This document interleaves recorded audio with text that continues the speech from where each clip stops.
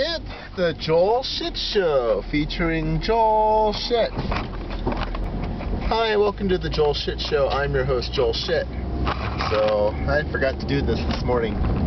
I was going to do it on my way to the gym, on my way to Pilates. But, I forgot to bring my camera with me. So now I'm doing it on the way to Nickel City. Speaking of which, guess what I did last night? I went to Nickel City.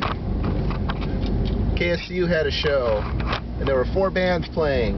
The first was Corpus Callosum. They were entertaining. They had an accordion, and they had the thing with the glasses, like water glasses, where you put your hands over the glasses to make them make different noises, like on that episode of The Simpsons, where the guy does the Simpsons theme with his hands over the glasses, so it had that glass sound.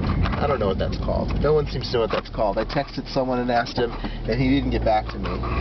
But I think that's more a shortcoming of my envy. So, I have an Envy phone, and if I want to text someone, I can say, you know, a new text message, and then in the to box, I put, wow, why am I going this way? Because I'm a distracted driver, that's why. God damn it. Okay, I'm going to go, well, I'll figure it out. I'll make this work.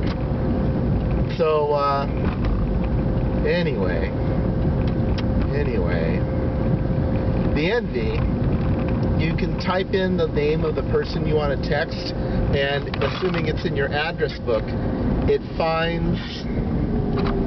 Ooh, did I make it? Did I make it?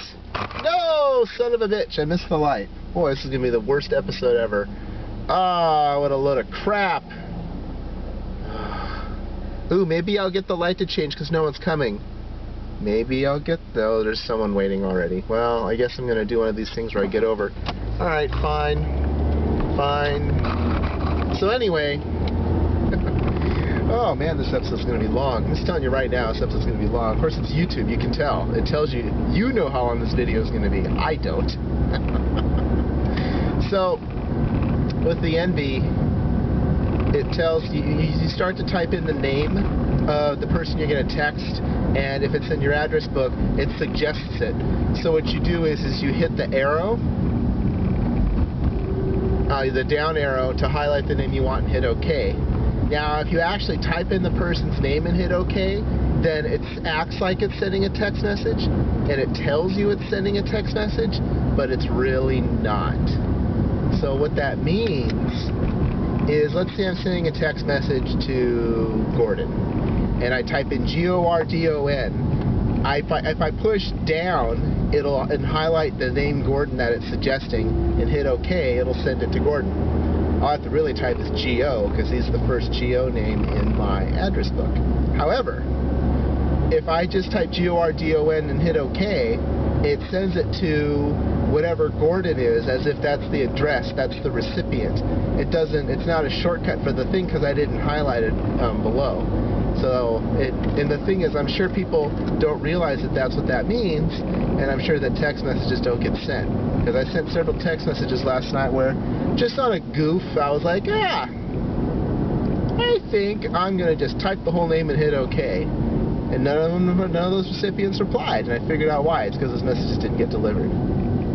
So anyway, Corpus Callosum are great.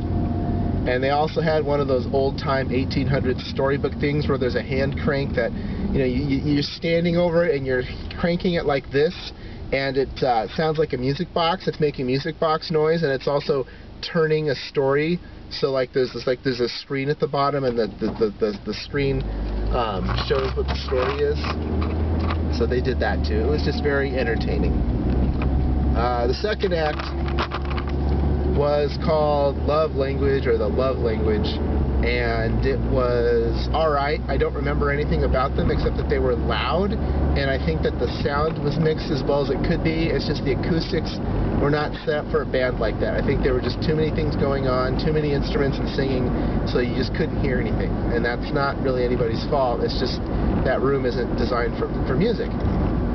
The third act was Headlights, who are from Illinois, and Headlights are great. They um, have this woman singer who also drums, and they sounded absolutely amazing. I mean, I, I can't wait for them to come back. I hope we have stuff from them at the radio station. I'm going to play it because it looked really good. And I just barely entered the intersection before the pedestrian did, so I did not have to yield. That was a close one. So, then the last act was the headliner, Picture Atlantic, and uh, they were fine. They had a similar problem uh, as the second act that there was too many instruments and there was too much noise going on and there was no way that they could fit everything into the room in terms of sound. Although this time I didn't see the sound guy really trying that hard. I think the sound guy kind of gave up. But uh, that's just my impression, so that doesn't mean that's what really happened. So, eh, let's see. I don't want to go down Bascom, that's too far. Lee is too far. Oh my god, I might as well take 17 then. Wow, I totally went the wrong way. Ugh. So, anyway, Nickel City, great show. Oh, and then there's the Puzzle Fighter thing I have to tell you about. This is huge. Alright, so the rest of this episode is about Puzzle Fighters. If you don't play Puzzle Fighter, you're not going to get any of this technical jargon.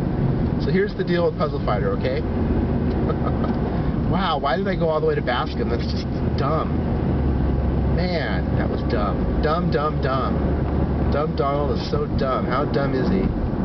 He's so dumb that I'm going to have to make a left turn at Bascom, and I'm going to take like 20 minutes to get to Nickel City when it's a 10-minute drive. Ah. So here's the thing about Puzzle Fighter, all right? Let's say you're fighting and someone sends you something, you can counter it. You can break stuff and counter it.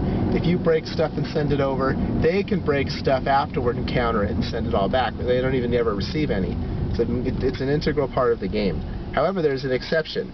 That exception is if you get an all clear. Let's say I'm playing you, and you're, you know, Felicia or something, and I'm Morrigan. Doesn't really matter who. And I'm messing around over here, breaking shit.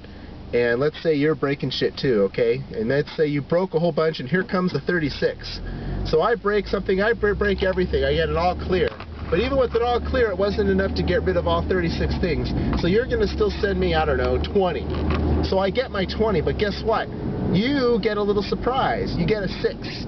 Now, in the first three minutes of the match, it's the only way that both people can receive something at the same time. After three minutes, of course, you can't counter anymore. That's just to get the round to end, because otherwise you could probably fight forever against certain people. So, and then if you get all clear a second time, it sends 12. And if you get all clear a third time, it sends 18, and so on. So getting multiple all clears is a good way to send shit to your opponent, even if your opponent is in the middle of breaking a lot of stuff. Because it is uncounterable. It is completely separate from breaking things and sending stuff over. It's a separate issue. However, I found an excuse for that, or an exception for that. I got to Devilot. Hooray for me, I unlocked Devilot. Well, I didn't unlock Devilot, but I got to fight Devilot because I did all the things. And I'm fighting Devilot, and Devilot's sending me like, I don't know, a 40. And guess what? I happen to get an all clear before she sends it over. But you know what? She didn't get six. She didn't get the little bonus that you always give the other person when you get an all clear. Now, did that six counter? I don't know because this puzzle fighter, the top is cut off because the monitor's going, so I can't ever see the number I'm going to receive until I receive it. But, uh, so it's possible that the 6 and SID countered it, but I don't think that's the case. I think that I got no reward for the all clear.